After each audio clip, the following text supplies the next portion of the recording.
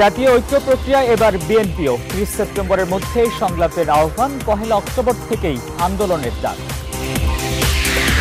আওয়ামী লীগকে বাদ দিয়ে জাতীয় ঐক্য হবে না, বলছেন দলটির নেতারা সব ষড়যন্ত্র মোকাবেলার ঘোষণা। ডিসেম্বরের শেষ অথবা জানুয়ারির শুরুতে জাতীয় নির্বাচন, জানিয়েছেন সিএসসি আইনি ভিত্তি পেলে ভোটে যুক্ত হবে ইসি জাতিসংঘে বাংলাদেশের এজেন্ডায় প্রাধান্য পাবে রোহিঙ্গা ইস্যু, নতুন প্রস্তাব দেবেন প্রধানমন্ত্রী। মালদ্বীপে আজ জাতীয় নির্বাচনের ভোট। প্রবাসী বাংলাদেশিদের দেশটির রাজনৈতিক কর্মকাণ্ডে অংশ না নেয়ার সতর্কতা।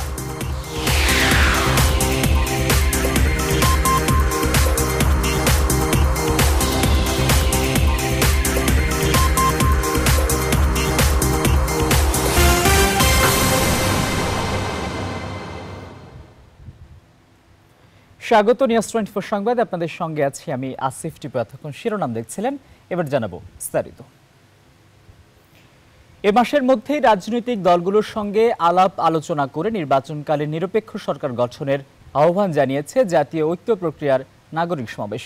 এ দাবিতে আগামী পহেলা অক্টোবর থেকেই মাঠে নামছে জাতীয় ঐক্য প্রক্রিয়ায় যুক্ত রাজনৈতিক দলগুলো। সংসদ ভেঙে দিয়ে নির্বাচন কমিশন পুনর্গঠনের দাবিও তোলা হয়েছে এই সমাবেশ থেকে।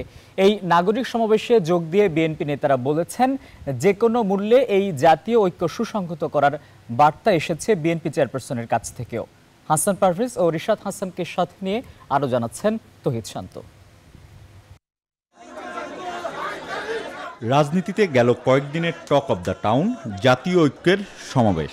অবশেষে অনুষ্ঠিত হল রাজধানীর মহানগর নাট্যমঞ্চে। সভাপতি গণফোরাম প্রধান ডক্টর কামাল হোসেন প্রধান অতিথি সাবেক রাষ্ট্রপতি অধ্যাপক বদরুদ্দোজা চৌধুরী। কিছুদিন ধরেই এই নেতাদের অনেকের বাসায় বৈঠকের পর বৈঠক হয়েছে। সরকারের অভিবাদনের সাথে সমালোচনার তীরও ছিল তাদের প্রতি। শনিবারের এই সমাবেশে বাম দলগুলোর সঙ্গে বিএনপির বিশ দলীয় জোটের নেতারাও যোগ দেন। যোগ দেন একসময়ের জনপ্রিয় সাবেক ছাত্র নেতারা। একটা অংশগ্রহণমূলক নির্বাচনের দাবি আমাদের। আমরা সবাই নির্বাচন করতে চাই। আওয়ামী লীগও করুক বিএনপি করুক যুক্ত ফ্রন্ট করুক গণফোরাম করুক সবাই নির্বাচন করুক তার ব্যবস্থা করেন। এই লীগ সরকারি লীগ। এই শিখ এই লীগ লুটপাটদের লীগ। তাদের এই লুটেরা শ্রেণি তাদের বিরুদ্ধে আমাদের রুখে দাঁড়াতে হবে পার্লামেন্ট বাতিল করে দিয়ে নির্দলীয় সরকার গঠন করেন। ঠিক বেলা তিনটায় শুরু হয় সমাবেশ। কিছুক্ষণ পরে মির্জা ফখরুল ইসলাম আলমগীরের নেতৃত্বে বিএনপির স্থায়ী কমিটির তিন সদস্য সভামঞ্চে ওঠেন। তাকে আজকে তার যে মৌলিক অধিকারগুলো আছে সেই মৌলিক অধিকার থেকে তাকে বঞ্চিত করা হচ্ছে। তারপরও তিনি সেই কারাগার থেকে আমাদেরকে খবর পাঠিয়েছেন। যে কোনো মূল্যে জাতীয় ঐক্য তৈরি করে এই দুঃশাসনকে সরাতে হবে। আমার কি আমার হবে। ক্ষমতায় যাওয়ার জন্য নয়, মানুষের ভোটের অধিকার ফেরাতে এই জাতীয় ঐক্য। বলেন ডক্টর কামাল হোসেন। সাবেক রাষ্ট্রপতি বদরুদ্দোজা চৌধুরী দাবি তোলেন ভোটের একশো দিন আগেই সেনাবাহিনীকে মাঠে নামাতে হবে। জাতীয় ঐক্যের এই প্রক্রিয়ায় স্বাধীনতা বিরোধীদের কোনো ঠাঁই নেই বলেও ঘোষণা দেন এই নেতারা। আমি দেশ চাই স্বাধীন চাই মুক্ত গণতন্ত্র চাই এই সরকারের পতন চাই। সমস্ত রাজবন্দীদের মুক্তির কথা লিখে সই করে দিয়েছি। কেউ কেউ আমাদের এই জাতীয় ঐক্যের প্রচেষ্টাকে ক্ষমতায় যাওয়ার ষড়যন্ত্র গন্ধ পাচ্ছে। আমরা প্রকাশ্যে সভা করছি, কোনো গোপন বৈঠক করছি না। সমাবেশ শেষে তেল, গ্যাস, খনিজ সম্পদ ও বিদ্যুৎ বন্দর রক্ষা জাতীয় কমিটির আহ্বায়ক প্রকৌশলী শেখ মোহাম্মদ শহীদুল্লাহ ঘোষণাপত্র পাঠ করেন। সেখানে নির্বাচনকালীন নিরপেক্ষ সরকার গঠন, নির্বাচন কমিশন পুনর্গঠন, বিএনপি চেয়ারপারসন খালেদা জিয়ার আইনগত ও ন্যায়সঙ্গত অধিকার নিশ্চিত করা এবং এসব দাবি আদায় না হওয়া পর্যন্ত জেলা থেকে ইউনিয়ন ওয়ার্ড পর্যায়ে শান্তিপূর্ণ আন্দোলন কর্মসূচি অব্যাহত রাখার কথা বলা হয়। Tauhid Shanto, news twenty Dhaka. Awami লীগকে বাদ দিয়ে জাতীয় ঐক্য হবে না বলে জানিয়েছেন আওয়ামী লীগ সাধারণ সম্পাদক এবং সড়ক পরিবহন ও সেতুমন্ত্রী ওবায়দুল কাদের। আওয়ামী লীগের তৃণমূলের সাংগঠনিক সফরে তিনি কথা বলেন। বলেন, শত জনপ্রিয় ব্যক্তিকেই আগামী নির্বাচনে মনোনয়ন দেয়া হবে। শেখ মিন্টুর ছবিতে তৌফিক মাহমুদ মুন্নার রিপোর্ট। ট্রেন যাত্রার পর এবার সড়ক পথে দুই দিনের সাংগঠনিক সফরে ক্ষমতাসীন দল আওয়ামী লীগ। দলের সাধারণ সম্পাদক ওবায়দুল কাদের নেতৃত্বে এবং চট্টগ্রাম বিভাগীয় সাংগঠনিক সম্পাদক ইনামুল হক শামীমের পরিচালনায় আওয়ামী লীগের কেন্দ্রীয় নেতারা এ সফরে রয়েছেন। কাজপুর থেকে শুরু হয় সাধারণ মানুষ ও দলীয় নেতাকর্মীদের ঢল। রাস্তার দুপাশে দাঁড়িয়ে তারা শুভেচ্ছা জানান। প্রথম দিন চারটি জনসভা করেন আওয়ামী লীগ সাধারণ সম্পাদক। এতে জাতীয় ঐক্য নিয়ে ওবায়দুল কাদের বলেন আওয়ামী লীগকে বাদ দিয়ে জাতীয় ঐক্য সম্ভব নয়। সবচেয়ে বড় দল সবচেয়ে জনপ্রিয় দল আওয়ামী লীগকে বাদ দিয়ে বাংলাদেশে জাতীয় ঐক্য হবে না হতে পারে না। আওয়ামী লীগ সাধারণ সম্পাদক জানিয়ে দেন দলের নাম ভাঙিয়ে যারা অপকর্ম করবে তাদের মনোনয়ন দেওয়া হবে না। জনগণের কাছে যিনি গ্রহণযোগ্য তিনি আওয়ামী লীগের মনোনয়ন পাবে। আজকে এখানে মনোনয়ন একজনকে দেব, এক এলাকা। তাহলে বাকিরা তাদেরকে যদি এখন শত্রু বানায়, তাদের বিরুদ্ধে যদি নিন্দা করে তাহলে ইলেকশনের সময় সবাই এক হয়ে ইলেকশন করা কঠিন হয়ে যাবে। দলের সিদ্ধান্তের বাইরে গেলেই থাকছে কঠোর শাস্তির ব্যবস্থা। প্রথম দিনে ওবায়দুল কাদের কুমিল্লা ইলিয়টগঞ্জ কুমিল্লা টাউন হল চোদ্দগ্রাম ও ফেনী শহরে সমাবেশে বক্তব্য রাখেন। রোববার কক্সবাজার যাত্রায় পাঁচটি সমাবেশে তার বক্তব্য রাখার কর্মসূচি রয়েছে। বিগত দু মেয়াদে সরকারের উন্নয়ন ছাড়াও কমিটিতে নানা বার্তা দিলেন আওয়ামী লীগের সাধারণ সম্পাদক বলেন দল থেকে নমিশন দেবে তার কাজ করতে হবে। আর দলের গেলে থাকবে ব্যবস্থা।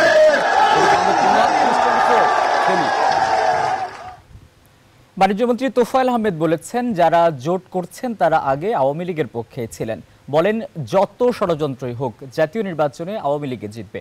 শনিবার সকালে রাজধানীর সদরঘাটে ইউনাইটেড রিলিজিয়ন ইনিশিয়েটিভ, বাংলাদেশের বিদ্যাসাগর সোসাইটি সিসি ও ইন্টার রিলিজিয়ন হারমোনি সোসাইটির সম্প্রীতি নৌযাত্রা দু আঠারো এর উদ্বোধনী অনুষ্ঠানে তিনি এসব কথা বলেন। বাণিজ্যমন্ত্রী আরও বলেন, বঙ্গবন্ধু অসাম্প্রদায়িক বাংলাদেশ গড়তে চেয়েছেন, বর্তমান সরকারও অসাম্প্রদায়িক বাংলাদেশ চায়। এছাড়াও জাতীয় নির্বাচন প্রসঙ্গে তিনি বলেন, সরকার সুষ্ঠু নির্বাচনের জন্য নির্বাচন কমিশনকে সাহায্য করছে।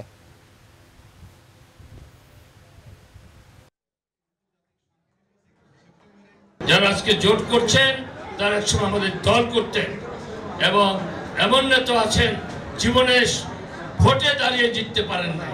সরকারের যে দায়িত্ব নির্বাচনকালীন সময়ে নির্বাচন কমিশনকে সাহায্য করা, সেই নির্বাচন কমিশনেই নির্বাচন পরিচালনা করবে।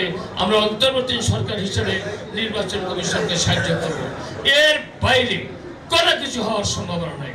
ষড়যন্ত্র হতে পারে, কিন্তু দক্ষতার সাথে সেই ষড়যন্ত্র আমরা ইনশাল্লাহ মোকাবেলা করে আগামী নির্বাচনে এই দেশে অনুষ্ঠিত হবে। ঢাকার মহানগর নাট্যমঞ্চের ঐক্য জনগণের সম্পৃক্ততায় হয়নি। এটা হয়েছে নেতাদের ঐক্য এমন মন্তব্য করেছেন আওয়ামী লীগ সাধারণ সম্পাদক ওবায়দুল কাদের। শনিবার রাতে কক্সবাজারের উদ্দেশ্যে যাওয়া নির্বাচনী পথযাত্রার বিরতিতে চট্টগ্রাম সার্কিট হাউসে এই মন্তব্য করেন তিনি।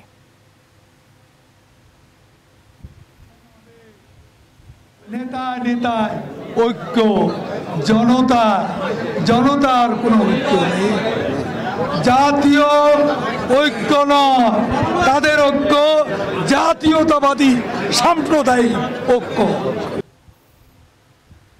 দু হাজার আঠারো এর শেষ অথবা দু এর শুরুতে একাদশ জাতীয় সংসদ নির্বাচন অনুষ্ঠিত হবে। সেই লক্ষ্যেই কাজ করছে নির্বাচন কমিশন। এক অনুষ্ঠানে কথা জানিয়েছেন প্রধান নির্বাচন commissioner K M Nurul Huda. বলেছেন, কেবল আইনি ভিত্তি পেলে এবং সম্পূর্ণ ত্রুটিমুক্ত মনে হলেই আগামী নির্বাচনে ইভিএম ব্যবহার করা হবে। বিস্তারিত জানাচ্ছেন আফরিন আনোয়ার। একাদশ জাতীয় সংসদ নির্বাচন সামনে রেখে শনিবার আগারগাঁওয়ের নির্বাচন প্রশিক্ষণ ইনস্টিটিউটে নির্বাচনী কর্মকর্তাদের প্রশিক্ষকদের প্রশিক্ষণ এবং ইলেকট্রনিক ভোটিং মেশিন ব্যবহার সংক্রান্ত প্রশিক্ষণের উদ্বোধন করেন প্রধান নির্বাচন কমিশনার। বলেন, ইভিএম নিয়ে মানুষের কৌতূহল থাকবেই। এজন্য নির্বাচনের আগে এ বিষয়ে জনসচেতনতা বাড়াতে হবে। সম্পূর্ণভাবে নিশ্চিত হয়ে যে এই ইভিএম এখন নিশ্চিতভাবে ব্যবহার করা যায়, ততটুকু ব্যবহার করব। যদি আইনগত ভিত্তি পায় তখন ইভিএম চালু করা হবে এবং যে ইভিএম আছে, সেটা যদি ব্যবহার উপযোগী হয়, তার মধ্যে যদি কোনো ত্রুটি না থাকে, কেবল তখনই ইভিএম ব্যবহার করা হবে। কেবল আইনি ভিত্তি পেলেই ইভিএম ব্যবহার জানিয়ে সিইসি বলেন দু হাজার আঠারো এর শেষ অথবা দু হাজার উনিশ সালের শুরুতে জাতীয় সংসদ নির্বাচন অনুষ্ঠিত হবে। সে লক্ষ্যে কাজ করছে কমিশন। নির্বাচন আমাদের বেশি দেওয়ার নেই দু হাজার আঠারো অথবা দু হাজার উনিশের প্রথম দিক দিয়ে হবে। এই নির্বাচনকে সার্থক করার জন্য, এই নির্বাচনকে গ্রহণযোগ্য করার জন্য আপনাদের প্রচেষ্টা, এই প্রশিক্ষণের ব্যবস্থা এবং আপনারা এখানে যারা আছেন, তারা এক একজন গুরু, তার মানে প্রশিক্ষকদের প্রশিক্ষক হিসাবে দায়িত্ব পালন করে যাবেন। দুদিনের এই প্রশিক্ষণ কর্মশালা শেষ হবে রোববার। Afrin Anwar news twenty Dhaka. জাতিসংঘ সাধারণ পরিষদের তিহাত্তরতম অধিবেশনে যোগ দিতে নিউ ইয়র্কে যাওয়ার পথে এখন লন্ডনে অবস্থান করছেন প্রধানমন্ত্রী শেখ হাসিনা। লন্ডনে স্থানীয় সময় তিনটা পঞ্চান্ন মিনিটে প্রধানমন্ত্রীকে বহনকারী বিমানটি হিথ্রো আন্তর্জাতিক বিমানবন্দরে অবতরণ করে। এ সময় যুক্তরাজ্য আওয়ামী লীগের নেতাকর্মীরা ফুল দিয়ে তাকে স্বাগত জানান। লন্ডনে যাত্রাবিরতির পর প্রধানমন্ত্রী আজ সকালে ব্রিটিশ এয়ারওয়েজের একটি ফ্লাইটে নিউ ইয়র্কের উদ্দেশ্যে রওনা হবেন। এর আগে শুক্রবার সকালে প্রধানমন্ত্রীকে বহনকারী বাংলাদেশ বিমানের একটি বিশেষ ফ্লাইট হজরত শাহজালাল আন্তর্জাতিক বিমানবন্দর থেকে লন্ডনের উদ্দেশ্যে ছেড়ে যায়। ছয় দিনের সফর শেষে দেশে ফিরবেন প্রধানমন্ত্রী শেখ হাসিনা।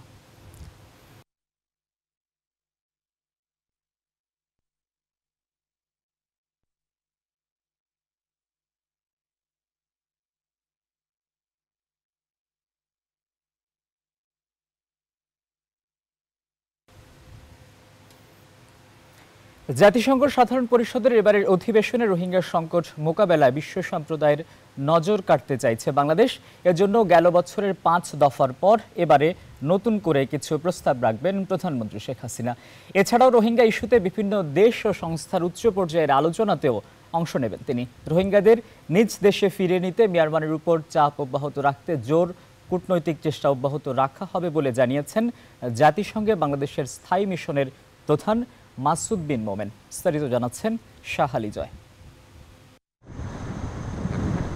জাতিসংঘের তিয়াত্তরতম অধিবেশনে সাধারণ বিতর্ক পর্বের বিষয় নির্ধারিত হয়েছে। সকলের জন্য জাতিসংঘ, শান্তিপূর্ণ সমতা ভিত্তিক ও টেকসই সমাজের জন্য বৈশ্বিক নেতৃত্ব এবং তাদের দায়িত্ব। আর বাংলাদেশের এজেন্ডায় গুরুত্ব পাচ্ছে রোহিঙ্গা সমস্যার মতো বৈশ্বিক ইস্যুটি। জাতিসংঘে বাংলাদেশের স্থায়ী প্রতিনিধি মাসুদ বিন মোমেন জানিয়েছেন, এবারে এই সংকটের স্থায়ী সমাধানে বিশ্ব সম্প্রদায়ের দৃষ্টি আকর্ষণের চেষ্টা চালাবে বাংলাদেশ। সেক্ষেত্রে চলতি অধিবেশনেই নতুন কিছু প্রস্তাব দিতে পারেন প্রধানমন্ত্রী শেখ হাসিনা। রোহিঙ্গা বিষয়ে আমাদের সর্বাত্মক কূটনৈতিক প্রচেষ্টা অব্যাহত রয়েছে, যা ইতিমধ্যেই দৃশ্যমান হয়েছে আপনাদের কাছে। আমরা মাননীয় প্রধানমন্ত্রীর এবারের জাতিসংঘের উপস্থিতিকে কাজে লাগিয়ে সর্বোচ্চ রাজনৈতিক পর্যায়ে এই বিষয়ে বিশ্ব সম্প্রদায়ের আরও জোর সমর্থন অর্জনের চেষ্টা করব। প্রধানমন্ত্রীকে স্বাগত জানাতে প্রস্তুতি নিচ্ছে যুক্তরাষ্ট্র আওয়ামী লীগও তেইশে সেপ্টেম্বর শেখ হাসিনাকে সংবর্ধনা জানাবে তারা। তারই প্রস্তুতি বৈঠক দেখা গেল দলীয় কার্যালয়ে। আমাদের বাংলাদেশের জনগণের উল্লেখ উজ্জ্বল করেছে তা না। ওনার বক্তব্য সারা বিশ্বের মানবতার মানবতা দেশটা যেখানে শোষণ, যেখানে নির্যাতিত সে নির্যাতিত জনগণের কথা উনি বলেন। বাংলাদেশ সময় তেইশ তারিখ মধ্যরাতে লন্ডন থেকে যুক্তরাষ্ট্রের রাজধানী নিউ ইয়র্কে পৌঁছবেন প্রধানমন্ত্রী শেখ হাসিনা। টানা দশমবারের মতো জাতিসংঘের সাধারণ পরিষদের অধিবেশনে যোগ দিতে যুক্তরাষ্ট্রে আসছেন প্রধানমন্ত্রী শেখ হাসিনা। বিশ্বের অনেক রাষ্ট্র বা সরকার প্রধানের চেয়ে এক্ষেত্রে অভিজ্ঞতায় তিনি এগিয়ে। তার এই অভিজ্ঞতাকে কাজে লাগিয়ে বিশ্ব সম্প্রদায়ে বাংলাদেশের অবস্থান আরও সুদৃঢ় হবে এমন প্রত্যাশা সবার। Shah Ali Joy news twenty New York যুক্তরাষ্ট্র। মালদ্বীপে অবস্থানরত বাংলাদেশিদের দেশটির রাজনৈতিক কর্মকাণ্ডে অংশ না নিতে সতর্ক করেছে দূতাবাস। এ সংক্রান্ত একটি প্রেস রিলিজও প্রকাশ করা হয়েছে দূতাবাসের পক্ষ থেকে। কর্মকর্তারা বলছেন, বেশ কিছুদিন ধরে বাংলাদেশিদের মালদ্বীপের রাজনৈতিক কর্মকাণ্ডে জড়িয়ে পড়ার খবর আসছে। রোববার দেশটির জাতীয় নির্বাচনের ভোটে এর প্রভাব পড়বে। আশঙ্কা করা হচ্ছে, কয়েকটি দল বাংলাদেশি শ্রমিকদের ভোট কেন্দ্রে বিশৃঙ্খলা সৃষ্টি করতে পারে। নির্বাচনে বাংলাদেশিদের কোনো বিশৃঙ্খলা সৃষ্টির প্রমাণ পেলে তাদের আজীবনের জন্য দেশে ফেরত পাঠানোর হুঁশিয়ারি দিয়েছে মালদ্বীপে বাংলাদেশ দূতাবাস।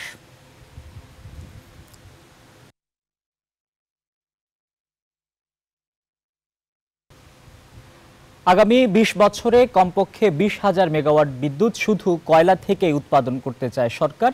প্রাথমিক জ্বালানির নানা পথে হাঁটতে চাইলেও তার ভিত্তিটা কয়লার উপরই রাখার কাজ শুরু করেছে তারা। এ লক্ষ্যে চীনের সহায়তা শুরু হওয়া দুটি বড় প্রকল্প থেকে এক হাজারের বেশি মেগাওয়াট বিদ্যুৎ আসতে শুরু করবে সামনের বছর থেকে। কিন্তু ডাটি ফুয়েল খ্যাত কয়লা বিদ্যুতের দূষণ নিয়ন্ত্রণে চীন যতটা পদক্ষেপ নিয়েছে তার কতটা পারবে বাংলাদেশ? চীন থেকে ঘুরে এসে জানাচ্ছেন বোরহানুল হক সম্রাট।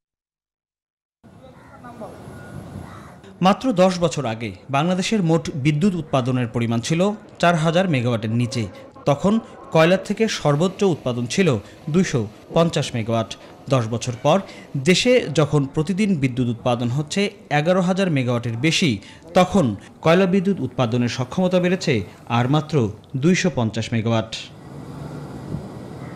তবে সেই চিত্র পাল্টে যাচ্ছে জোরে সোরেই। সরকারের সবশেষ বিদ্যুৎ মহাপরিকল্পনায় আগামী দুই হাজার ত্রিশ সালের মধ্যে কমপক্ষে পনেরো হাজার মেগাওয়াট ও দুই হাজার একচল্লিশ সালের মধ্যে কমপক্ষে পঁচিশ হাজার মেগাওয়াট বিদ্যুৎ শুধু কয়লা থেকেই উৎপাদনের লক্ষ্য।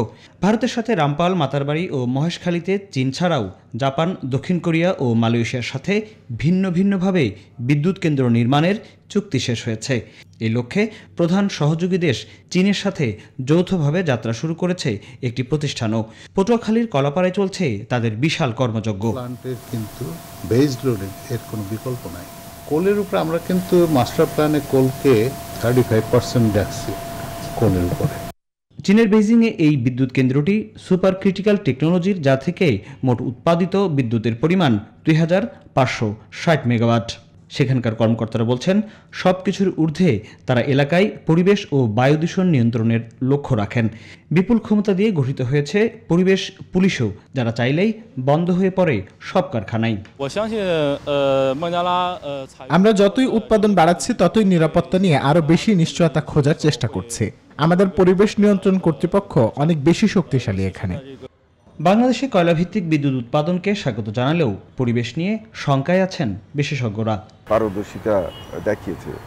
তার কতগুলো জিনিস আমরা ধরতে পারি কতগুলো পারি না? যেমন ধরেন চীন একটা হচ্ছে যে কয়লা বিদ্যুৎ উৎপাদনের যে বিশাল কর্মযজ্ঞ করেছে আমাদের দেশে এইটা করার সমস্যা।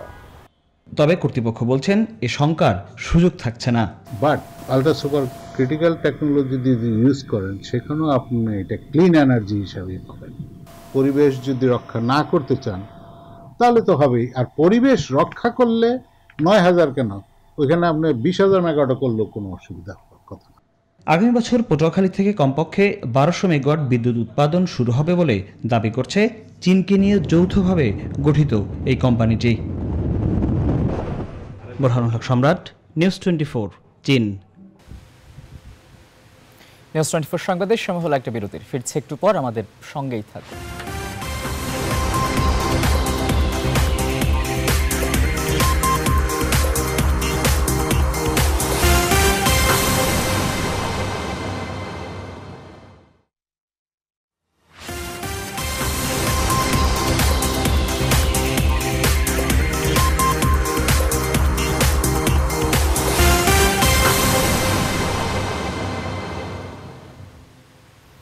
বিরতির পর আবারও স্বাগত। আপনারা দেখছেন নিউজ টোয়েন্টি ফোর সংবাদ। এবারে প্রবাসের খবর।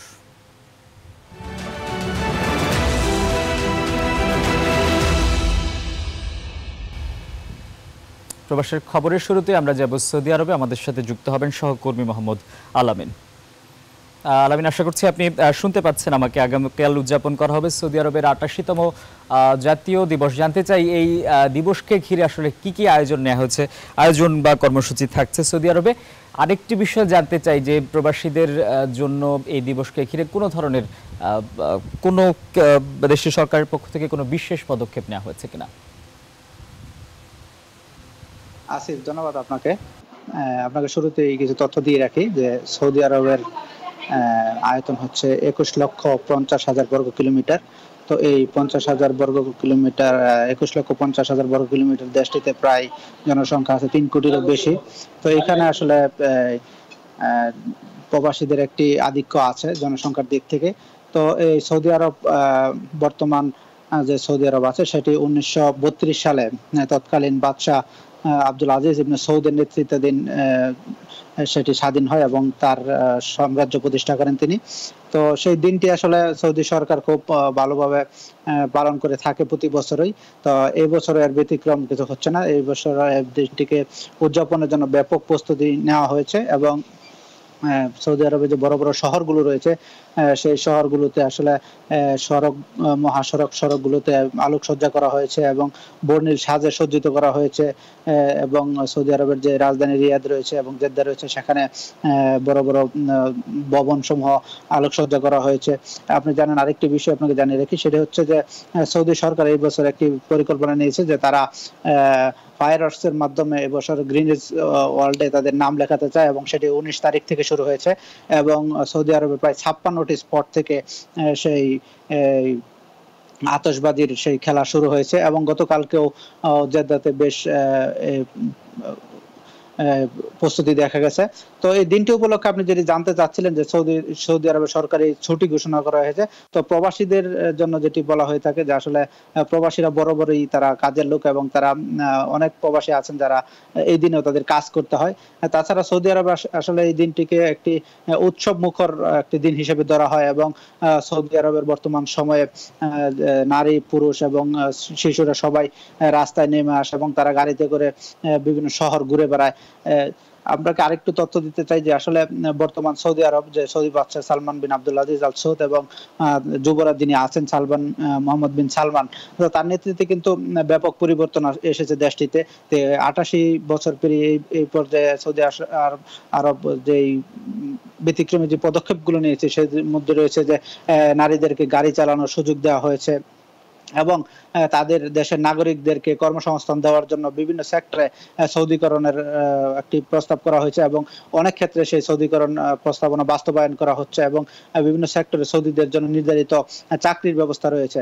এবং আপনি জানেন যে সৌদি আরব একটি তেল নির্ভর অর্থনীতির দেশ। তো বর্তমান যে যুবরাজ আছেন মোহাম্মদ বিন সালমান তিনি সেই তেল নির্ভরতাকে থেকে বেরিয়ে এসে সৌদি আরবকে একটি আধুনিক মুসলিম দেশ হিসেবে গড়ে তোলার জন্য বিভিন্ন পদক্ষেপ নিয়েছেন এবং এখানে পর্যটনকে গুরুত্ব দেওয়া হচ্ছে এবং এই সংশ্লিষ্ট আরব অনেক কর্মকাণ্ড হাতে নেওয়া হয়েছে এবং এই দেশে জানেন যে গত কিছুদিন আগে একটি ঘোষণা দেওয়া হয়েছে যে যারা এখানে উমরা করতে আসবেন তারা সৌদি আরবের বিভিন্ন শহর তারা ঘুরতে পারবেন, দেখতে পারবেন। এটাও কিন্তু একটি বড় অর্জন এবং বর্তমান যুবরাজ যিনি আছেন তার পরিকল্পনার অংশ হিসেবে এটি বাস্তবায়ন হচ্ছে এবং দুই একটি ভীষণ নির্ধারণ করা হয়েছে যে দুই সালের মধ্যে সৌদি আরবের বেকারত্বের হার কমিয়ে এনে তাদের দেশের যে যুব সমাজ আছে তাদেরকে আইটিতে দক্ষ করে গড়ে তোলা হবে এবং তারা তেল থেকে বেরিয়ে তারা তাদের নিজস্ব যে জনবল আছে সেই জনবলকে কাজে লাগিয়ে তারা একটি শক্তিশালী অর্থনৈতিক দেশ হিসেবে করতে চান।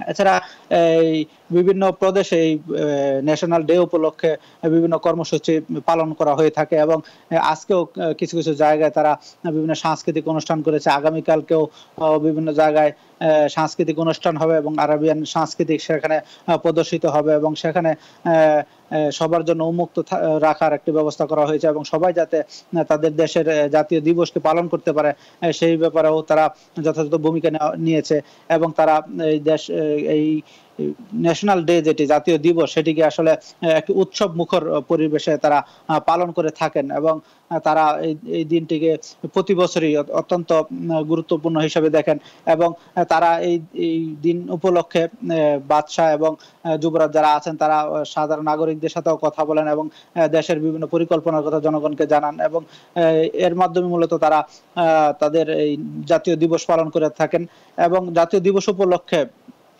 বিভিন্ন প্রতিষ্ঠান, যে সমস্ত প্রতিষ্ঠানে অন্যান্য নাগরিকরা আছেন, বিদেশিরা আছেন, তাদের জন্য আলাদা করে ব্যবস্থা থাকে। যেরকম অনেকে আছেন এই দিনটি উপলক্ষে তারা ছুটি পেয়ে থাকেন, আবার অনেকে আছেন এই দিনটি উপলক্ষে বিশেষ কোনো অনুষ্ঠান মালার আয়োজন করে থাকেন। তো সব মিলিয়ে আসলে আগামীকাল একটু উৎসব মুখর পরিবেশে তাদের জাতীয় দিবসটি পালন করা হবে, এমনটি প্রত্যাশা করছেন সংশ্লিষ্ট সবাই।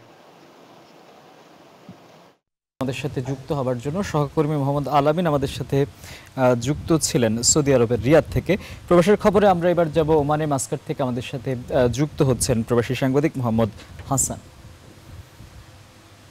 মোহাম্মদ হাসান আপনাকে স্বাগত জানাচ্ছি ওমানে আহ, সম্প্রতিকালে যেটি হচ্ছে যে সড়ক দুঃখিত প্রবাসী বাংলাদেশের মৃত্যু ঘটছে। এর কারণ কি? আর প্রতিকারে দেশটির সরকার বা বাংলাদেশ দূতাবাসের পক্ষ থেকে কোনো ধরনের পদক্ষেপ নেওয়া হয়েছে কিনা?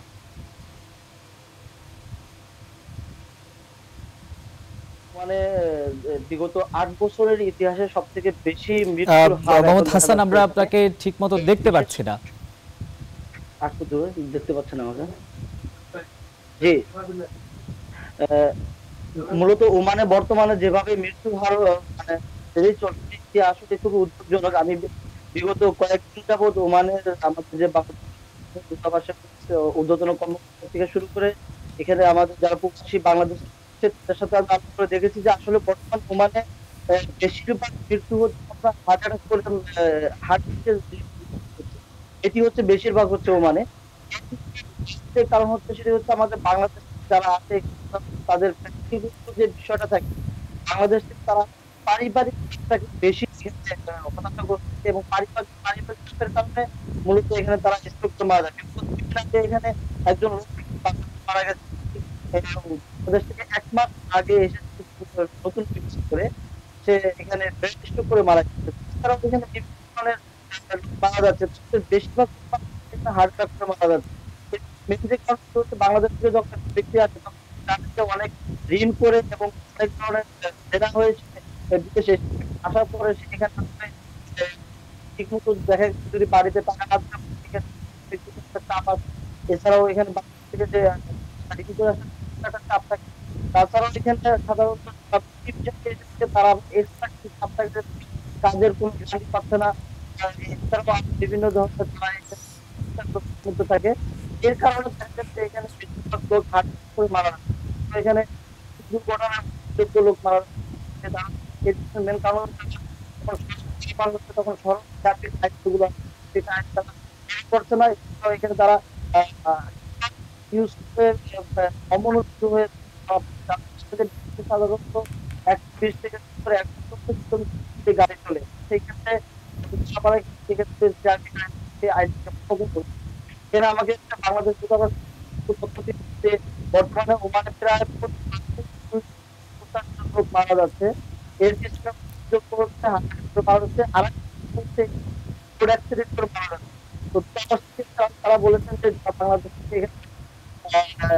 যারা ওমানে ট্রাফিক আইন ফলো করে তারা আরও কিছু গাড়ি যখন চালায় তারা হাই স্পিডে গাড়ি চালায় এবং হয়ে আপনি জেনে থাকবেন তো ওমানের মাস্টার থেকে আপুরা নামক স্থানে ওখানে মারা গেছে এর পিছনে ছিল সেটি হচ্ছে মোবাইল ব্যবহার করা এই ছিল সর্বশেষ অবস্থা। মোহাম্মদ হাসান, আপনাকে অসংখ্য ধন্যবাদ আমাদের সাথে যুক্ত হবার জন্য। দর্শক, ওমানের মাস্কাট থেকে আমাদের সাথে প্রবাসী সাংবাদিক মোহাম্মদ হাসান যুক্ত ছিলেন। আমরা এবার যাব বাহরাইনে। আমাদের সাথে যুক্ত হবেন প্রবাসী সাংবাদিক মোহাম্মদ জাহান। মোহাম্মদ জাহান, আশা করছি আপনি শুনতে পাচ্ছেন আমাকে, আপনাকে স্বাগত জানাচ্ছি। সম্প্রতি বাংলাদেশিদের জন্য সব ধরনের ভিসা বন্ধ করে দিয়েছে বাহরাইন সরকারের কারণ কি? আর নিশ্চয়ই আপনি বাংলাদেশ দূতাবাসের সঙ্গে বা দূতাবাসের কর্মকর্তাদের সঙ্গে কথা বলেছেন। এই ব্যাপারে কি বলছেন তারা? আসিফ, আপনাকে এদেশের যে ভিসাটা যে, যেটা চালু ছিল যে বাংলাদেশের সবসময় শ্রমিকরা কম বেশি কিছু না কিছু ভিসা যে চালুটা ছিল সেই বর্তমানে সেই ভিসাটা কিন্তু এখন বন্ধ করে দিয়েছে এদেশের সরকার। তো আমি ইতিমধ্যে যে আমাদের বাহরানে যে বাংলাদেশ দূতাবাস আছে তা আমি দূতাবাসের সাথে অনেক কর্মকর্তার সাথে আমি কথা বলে জানতে পেরেছি যে এই সরকার এখন বিষয়টা ইচ্ছাকৃতভাবে বন্ধ করেছে। তো কতদিনকার জন্য যে বন্ধ করছে এটা রঙের কাজ করতেছে? বেঁধে এটা যে কোনো মুহূর্তে খুলতেও পারে। তো তাছাড়া আমি বেশ কিছু বড় বড় যে কোম্পানি তার সাথে আমি কথা বলে জানতে পেরেছি। তারা আমাকে অনেক হতাশা জানিয়েছে যে কারণ আসিফ আমি আপনার মারফত আমি সবকে জানাতে যে যে বাহারানে বাংলাদেশি ছাড়া কনস্ট্রাকশনের কাজ বলেন যে বড় বড় বিল্ডিং বলেন ইমারত বলেন এগুলা কিন্তু কখনোই সম্ভব না।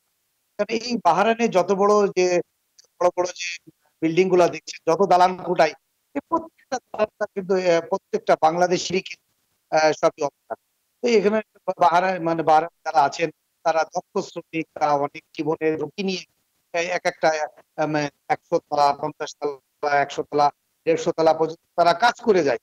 তো আমি বাহরানের এই যে বড় বড় ব্যবসাদার আছেন আমি এখানকার বড় কোম্পানির কিছু সাথে আমি যারা বড় পর্যায়ে আছে তাদের সাথে আমি কথা বলে জানতে পেরেছি। তারা হতাশা এটাই যে বাংলাদেশি শ্রমিক ছাড়া কিন্তু তারা চলতে পারবে না। তো এই জন্য তারাও নিজের থেকে একটা উদ্যোগ সরকারকে বলবে যে এরকম আমরা বাংলাদেশের শ্রমিককে আহ, প্রয়োজন। তো এই দেশের সরকার যে কখন যে খুলে এটা কিন্তু বলা মুশকিল। তবে বর্তমানে এখন টোটালে আপনি আগে কি বেশ কিছুদিন আমাদের জিয়ারা ভিসা যেটা যেটা বলে আর কি ভিজিট ভিসা সেটাও খোলা ছিল। সেটাও কিন্তু ইদানিং এটা টোটাল এবং ভিজিট ভিসা থেকে শুরু আরও, যারা অন্য অন্য বিজনেস ভিসা ছিল, সেটাও কিন্তু বন্ধ করে দিয়েছে। বেশ কিছুদিন আগে কিন্তু বিজনেস ভিসা খোলা ছিল। ওইটাও আরও টোটালে কোনো বাংলাদেশ ভিসা নতুন লোক এখানে কোনো শ্রমিক আসতে পারবে না। তো এখন আমি বলব যে এদেশের যে যে দূতাবাস তিনারা চেষ্টা চালিয়ে যাচ্ছেন। যারা মন্ত্রণালয়ে আছেন, তাদের সাথে যোগাযোগ অব্যাহত আছেন আমি জানতে পেরেছি যে তারা আলোচনা আলোচনার মাধ্যমে একটা প্রক্রিয়া আসবে।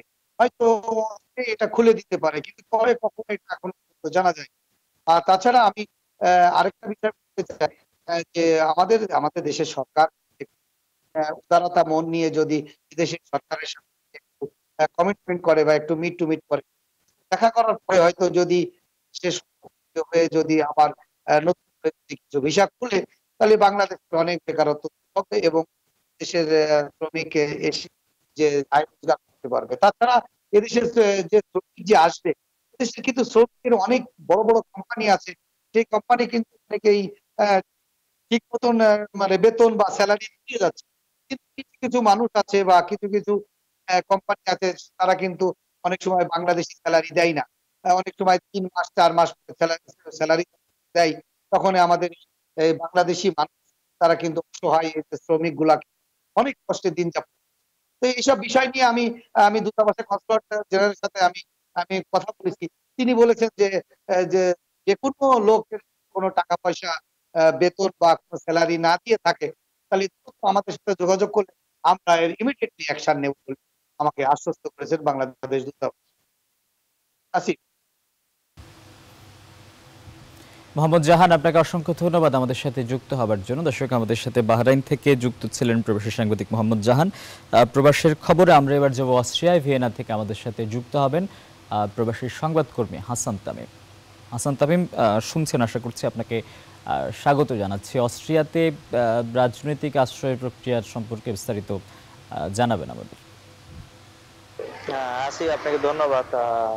মূলত এখানকার যে রাজনৈতিক আশ্রয় যে বিষয়টি ছিল বেশ কয়েক বছর ধরে সেটি হয়- হয়তো এক কঠিন পর্যায়ে রয়েছে এবং দেখা যাচ্ছে যে যারা রাজনৈতিক আশ্রয় গ্রহণ করছে বা রাজনৈতিক আশ্রয় যে আছে, তাদের বিভিন্ন প্রক্রিয়ার মাধ্যমে এসে তাদের রাজনৈতিক আশ্রয় আবেদন গ্রহণ করা এবং সেক্ষেত্রে অনেক ক্ষেত্রে দেখা যাচ্ছে তাদের রাজনৈতিক আশ্রয় গ্রহণ করা হয় কারণ নতুন সরকার দেখা যাচ্ছে যে এখানকার রাজনৈতিক আশ্রয়ের সংখ্যা বা অভিবাসীর সংখ্যা, অবৈধ অভিবাসীর সংখ্যা শূন্যের কোঠায় নামিয়ে আনার চিন্তা ভাবনা করছে? এবং সেক্ষেত্রে দেখা যাচ্ছে যে এখানকার যে নাগরিকরা রয়েছে বা এখানকার যে যে দেশের নাগরিক রয়েছে, তারা হয়তো অনেক ক্ষেত্রে দেখা যাচ্ছে যে অভিবাসনের কাজ করার পরে বা সাইবার বসবাসের সুযোগ পাওয়ার পরে দেখা যাচ্ছে অনেক ধরনের বিভিন্ন ধরনের অপরাধমূলক কর্মকাণ্ডে জড়িয়ে যাচ্ছে। এবং দেখা যাচ্ছে যে অনেক ক্ষেত্রে তারা কাজ করতে চায় না। সরকার থেকে ভাতা নিচ্ছে সেক্ষেত্রে তাদের কাজের প্রতি একটা অনীহা লক্ষ্য করা যায় এবং সরকার সেক্ষেত্রে দেখা যাচ্ছে যে অনেক চিন্তা ভাবনা করে এখানকার অভিবাসীদেরকে তাদের থাকার অনুমতি দিচ্ছে এবং সেক্ষেত্রে দেখা যাচ্ছে যে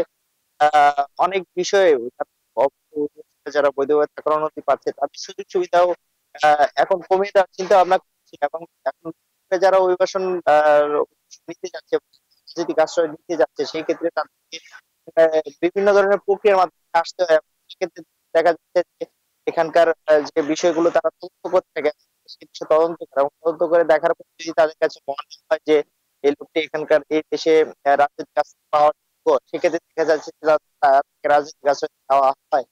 এবং দেখা যাচ্ছে যে এখন যে পরিস্থিতি সেই পরিস্থিতি অনুযায়ী দেখা যাচ্ছে যে প্রদান গ্রহণ করে থাকে। তাদের অনেক কঠিন সময় পার করতে হচ্ছে। দেখা যাচ্ছে যে অনেক সময় অনেক ক্ষেত্রে দেখা ইতিমধ্যে বেশ আহ, অবৈধ অভিবাসী কারণ দেখা যাচ্ছে যে তারা যে যে- কারণে তারা এখানে রাজনৈতিক আশ্রয় গ্রহণ করেছিল এবং সেটি দেশের সরকার গ্রহণ করে তাদেরকে প্রদান করেছে সে কারণে তাদেরকে দেশে ফেরত দিতে বাধ্য করেছে। এবং দেখা যাচ্ছে যে এই এই সবচেয়ে বেশি লক্ষণীয় যে ইতিমধ্যে বেশ কয়েকজন বাংলাদেশ নাগরিককে পাঠিয়েছে দেশে। তো দেখা যাচ্ছে যে সবকিছু এখানকার যে বিশেষ করে আপনি জানিয়ে এখানকার যে বাংলাদেশি রাজনৈতিক আশ্রয়- প্রার্থী তাদের মধ্যে কোনো কর্মকাণ্ড নেই তাদের একটি সুনাম এখানে লক্ষ্য করা যায়। তারা বিভিন্ন ক্ষেত্রে যথেষ্ট উল্লেখযোগ্য ভূমিকা পালন করছে, বিশেষ করে সামাজিক ক্ষেত্রে। তো দেখা যাচ্ছে যে অন্য বিষয়গুলো লক্ষ্য করে দেখা যাচ্ছে অনেক বাংলাদেশিকে তারা হচ্ছে। তো দেখা যাচ্ছে যে এই বিষয়গুলো নিয়ে বাংলাদেশ দূতাবাস এবং বাংলাদেশ অস্ত্রশক্তি কাজ করে যাচ্ছে এবং আগামী শুক্রবার একটি কর্মশালার আয়োজন করেছে। এখানে যারা আছে তাদেরকে কর্মশালা আয়োজন করেছে এবং তাদেরকে আহ, এখনকার যে অভিবাসন আইন অভিবাসন আইন সম্পর্কে জানানো হবে যে কি করলে হয়তো বা তারা এখানে অভিবাসনের সুযোগটা পাবে। দেখা যাচ্ছে যে এইগুলো নিয়ে আসলে এখন খুব সমস্যা তৈরি হচ্ছে। নতুন সরকার চাচ্ছে যে ঘটনা নামিয়ে আনতে এবং যারা থেকে বৈধ হচ্ছে। তাদের, তাদেরও সে যে কম দেওয়া হয়, সেই চিন্তা ভাবনা যে এখন তারা এখানে আশ্রয় প্র- প্রত্যাশী তাদের জন্য অনেক ধরনের সমস্যা সৃষ্টি হতে পারে। আসিফ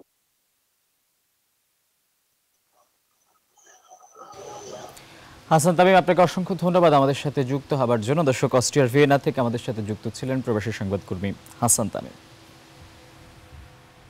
সংবাদের সময় হলো আরেকটা বিরতির, ফিরছি একটু পর। আমাদের সঙ্গেই থাকুন।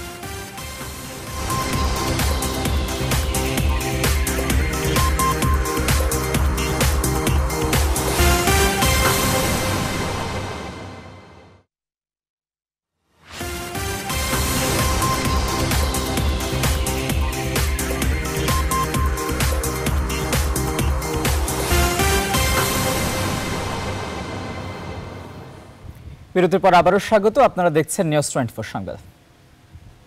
এবারে আন্তর্জাতিক প্রসঙ্গ।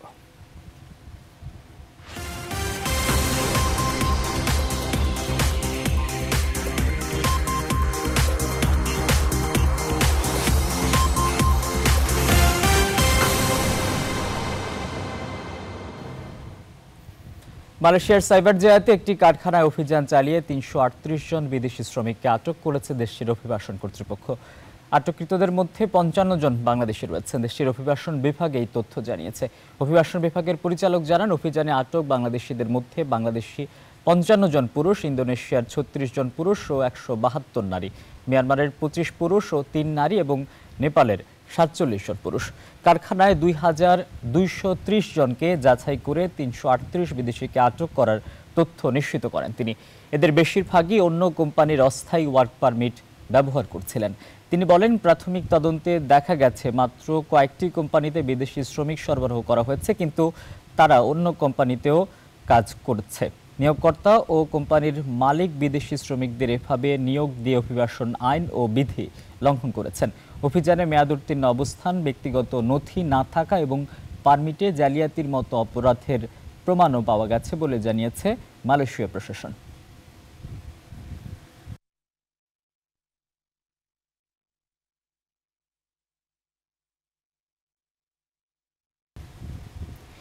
ইরানের সামরিক মহড়ায় অজ্ঞাত বন্দুকধারীর হামলায় নিহতের সংখ্যা বেড়ে দাঁড়িয়েছে চব্বিশ জনে। আহত হয়েছেন অন্তত চুয়ান্ন জন। নিহতদের মধ্যে দেশটির রেভলিউশনারি গার্ডের সদস্যদের পাশাপাশি কুচকাওয়াজ, দেখতে যাওয়া নারী ও শিশুরাও রয়েছে। হামলায় জড়িতদের জন্য উপযুক্ত শাস্তির ব্যবস্থা করা হবে বলে ঘোষণা দিয়েছেন ইরানের পররাষ্ট্রমন্ত্রী জাভেদ জারিফ। শনিবার ইরানের খুজিস্তান প্রদেশের আহওয়াজ শহরে কুচকাওয়াজ চলা অবস্থায় বন্দুকধারীরা দূর থেকে গুলি চালাতে শুরু করে। একসময় তারা মঞ্চে উপবিষ্ট সেনা কর্মকর্তাদের লক্ষ্য করেও হামলা চালায়। হামলাকারীদের পাল্টা জবাব দেয় ইরানি বাহিনীর সদস্যরা। গোলাগুলির এই ঘটনা চলে প্রায় দশ মিনিট ধরে। খুজিস্তান প্রদেশের ডেপুটি গভর্নর জানিয়েছেন, হামলাকারীদের দুজন পাল্টা গুলিতে নিহত হয়েছে। গ্রেফতার করা হয়েছে দুজনকে, আর বাকিরা পালিয়ে গেছে। তাদের খোঁজে অভিযান শুরু করেছে ইরানের নিরাপত্তা বাহিনী।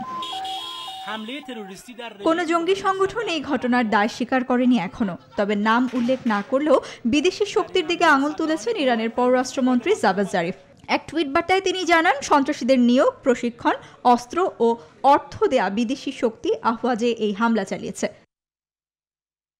সন্ত্রাসবাদে মদত দেয়া আঞ্চলিক শক্তি এবং তার প্রভু যুক্তরাষ্ট্র এই হামলার জন্য দায়ী। ইরানিদের জীবন রক্ষার জন্য ইরান খুব দ্রুতই এই ঘটনার পাল্টা জবাব দেবে বলেও জানান জারিফ। ইরানের গার্ডের কর্মকর্তারা আহওয়াজি বিচ্ছিন্নতাবাদীদের এই হামলার জন্য দায়ী মনে করে। এদেরকে সৌদি আরব প্রশিক্ষণ ও সমর্থন দেয় বলেও জানায় তারা। সঞ্জিতা ইসলাম, নিউজ টোয়েন্টি জমকালো আয়োজনে বঙ্গবন্ধু গোল্ড কাপ ফুটবল টুর্নামেন্টের ট্রফি উন্মোচন করা হয়েছে। রাজধানীর একটি হোটেলে ট্রফি উন্মোচন অনুষ্ঠানে প্রধান অতিথি ছিলেন বাণিজ্যমন্ত্রী তোফায়েল আহমেদ। এ সময় উপস্থিত ছিলেন বাংলাদেশ ফুটবল ফেডারেশনের সভাপতি কাজী সালাউদ্দিন, সিনিয়র সহসভাপতি সালাম মুর্শিদি ও কো স্পোর্টসের প্রধান নির্বাহী কর্মকর্তা ফাহাদ করিম। টুর্নামেন্টে অংশগ্রহণকারী ছয় দলের অধিনায়কদের উপস্থিতিতে বর্ণাঢ্য সাংস্কৃতিক পরিবেশনা এবং শিল্পী মমতাজ বেগমের কণ্ঠে থিম সঙ্গের থিম সঙ্গে বাড়তি মাত্রা যোগ হয় অনুষ্ঠানে। আগামী পহেলা অক্টোবর শুরু হবে বঙ্গবন্ধু গোল্ড কাপের পঞ্চম আসর। পহেলা থেকে ছয় অক্টোবর সিলেটে গ্রুপ পর্বের খেলা হবে। নয় ও দশ অক্টোবর কক্সবাজারে হবে দুটি সেমিফাইনাল। বারো অক্টোবর ঢাকার বঙ্গবন্ধু জাতীয় স্টেডিয়ামে ফাইনাল টুর্নামেন্টে বি গ্রুপে বাংলাদেশের দুই প্রতিপক্ষ লাওস ও ফিলিপাইন। উদ্বোধনী দিনে মাঠে নামবে বাংলাদেশ ও লাওস। এ গ্রুপের তিন দল, নেপাল, ফিলিস্তিন ও তাজিকিস্তান।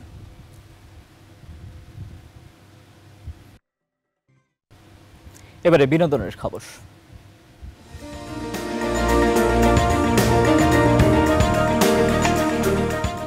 দেবী সিনেমা দিয়ে বড় পর্দায় অভিষেক হচ্ছে ছোট পর্দার অভিনেত্রী শবনম ফারিয়ার। অনম বিশ্বাসের পরিচালনায় নির্মিত দেবী সিনেমার একটি বিশেষ চরিত্রে দেখা যাবে ফারিয়াকে।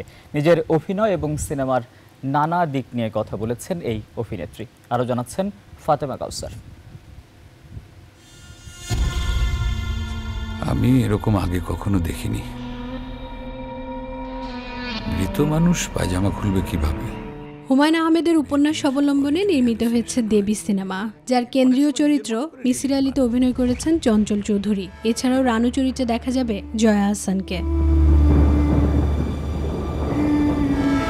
সরকারি অনুদানে নির্মিত দেবী সিনেমাটি পরিচালনা করেছেন অনম বিশ্বাস। সিতে সিনেমার প্রযোজনায় নির্মিত দেবী সিনেমার একটি বিশেষ চরিত্রে দেখা যাবে স্বপ্ন ফারিয়াকে। আজকে গাড়িতে করে কোথাও যাবেন না, প্লিজ। কেন? নীলু চরিত্রটা হচ্ছে আমার পার্সোনালি খুব পছন্দের একটা চরিত্র কারণ নীলু শুধু দেবীতে না এটার পরে যে নিশিথিন ওটার মধ্যেও নীলুর একটা ক্যারেক্টার ছিল। আমার বাস্তব ক্যাট চরিত্রের একদম অপোজিট একটা চরিত্র সেজন্য হয়তো আমার বেশি ভালো লাগে। নীলু যে ক্যারেক্টারটা তার একটা অনেক বড় ইম্প্যাক্ট আছে সেটা ইম্পর্টেন্ট এবং আমার অভিনয় করার কতটুকু জায়গা ছিল বা আমি কাদের সাথে অভিনয় করছি একটা অনেক ভালো ফিল্মের একটা ছোট পার্ট হওয়াও তো অনেক বড় একটা ব্যাপার। মায়াবতী কন্যা রে শালুক ফোটা ফুল। ফারিয়া জানালেন কীভাবে দেবী সিনেমাতে যুক্ত হলেন এবং কেমন ছিল কাজ করার অভিজ্ঞতা। আমাকে ফার্স্টে ফোন করে আমাদের যে কাস্টিং ডিরেক্টর টিটু ভাই বাট এরকম ফোন তো রেগুলারই আসে, প্রায় কেউ না কেউ ফোন করে বিভিন্ন জায়গা থেকে যে আমরা ফিল্ম বানাতে চাই, আপনাকে নিয়ে কাজ করতে চাই। কিন্তু তখনও আসলে আমি ফিল্মে কাজ করার জন্য প্রস্তুত ছিলাম না। যখন বলে যে হুমায়ুন আহমেদের গল্প, তখন আসলে আমি একটু একটু অবাক হয়েছে। হুমায়ুন আহমেদের গল্পে আমাকে ফোন দিচ্ছে। তো তখন আমি বললাম যে, আপনি আমাকে একটু টাইম দেন আজকে রাতে। আমি একটু বইটা পড়ে আমি আপনাকে ফোন দিচ্ছি। তো আমি পরে হচ্ছে বইটা নেট থেকে নামিয়ে বইটা পড়ি। পরে পরদিন ওনাকে ফোন দিই যে, না, আমার মনে হয় এটা নিয়ে আমরা ফার্দার কথা বলতে পারি। আমাদের টেলিভিশনে আমরা অনেক ছোট ছোট ভুলগুলোকে ইগনোর করে যাই যে, একটু একটা ভুল একটা লাইটের ঝামেলা ওকে ফাইন ঠিক আছে, বাদ দাও। বা একটু সাউন্ডে প্রবলেম একটু কারেকশন লাগবে আচ্ছা ঠিক আছে, বাদ দাও, হয়ে যাচ্ছে। কিন্তু যখন ফিল্ম হয়, সেটা বড় পর্দায় যায় ছোট্ট একটু ভুলও কিন্তু অনেক বড়। তোমার নিশানাতে আমার হাওয়াতে উড়ে উড়ে আসে গুঁড়ো গুঁড়ো কিছু নীল। জয়া আহসান চঞ্চল চৌধুরী ফারিয়া ছাড়াও এই সিনেমায় আরও দেখা যাবে ইরেশ জাকের অনিমেষ আইস সহ আরও অনেককে। ক্রমশ এ গল্পে আরও পাতা জুড়ে নিচ্ছি। দুমুঠো বিকেল যদি চাও ছুঁড়ে দিচ্ছি। এরই মধ্যে প্রকাশিত হয়েছে দেবী পোস্টার টিজার ট্রেলার এবং গান। অক্টোবরের মাঝামাঝি প্রেক্ষাগৃহে আসবে হুমায়ুন আহমেদের দেবী। যেন ব্যথা না লাগে তার শিমুল তোলা মনে। Fatema Kausar news twenty Dhaka. না লাগে তাহার। উত্তর কোরিয়া চলছে তিন দিন ব্যাপী চলচ্চিত্র উৎসব। দেশটির রাজধানী পিয়ংইয়ংয়ে আয়োজন করা হয়েছে ষোলোতম এই চলচ্চিত্র উৎসবের। আর এবারের উৎসবে দেখানো হচ্ছে ভিন্নধর্মী সব সিনেমা। সাদিয়া সিনথিয়ার ডেস্ক রিপোর্ট। চলচ্চিত্র উৎসবকে ঘিরে গোটা পিয়ংইয়ং জুড়ে যেন সাত সাত রব। বুধবার জাঁকজমকপূর্ণ অনুষ্ঠানের মাধ্যমে উদ্বোধন করা হয় এবারের চলচ্চিত্র উৎসবের। উৎসবে উপস্থিত ছিলেন দেশটির সংস্কৃতি মন্ত্রী ও উৎসব কমিটির সভাপতি পাকচুর নাম সহ পিয়ংইয়ংয়ের গণ্যমান্য ব্যক্তিত্বরা। দর্শকদের ভিন্ন ধাঁচের সিনেমার আমেজ দিতে এবারে চলচ্চিত্র উৎসবকে আরও রঙিন করে সাজিয়েছেন সংশ্লিষ্টরা।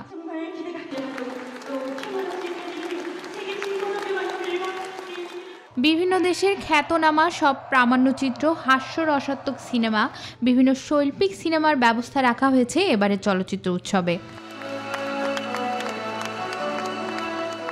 তিন দিনের এই চলচ্চিত্র উৎসব শেষ হবে শুক্রবার। Sadia Synthia news twenty four শেষ করব এখনকার নিউজ টোয়েন্টি ফোর সংবাদ। শেষ করার আগে শিরোনামগুলো আরেকবার।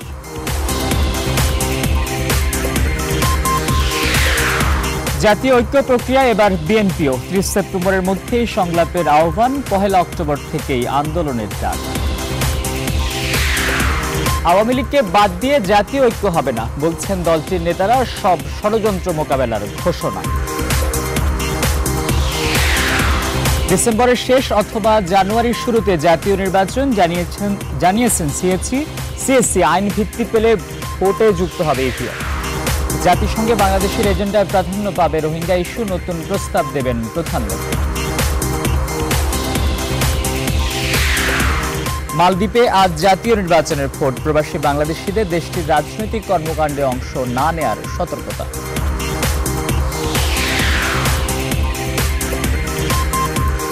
আর এই ছিল এখনকার নিউজ টোয়েন্টি ফোর সংবাদ। এতক্ষণ আমাদের সঙ্গে থাকার জন্য ধন্যবাদ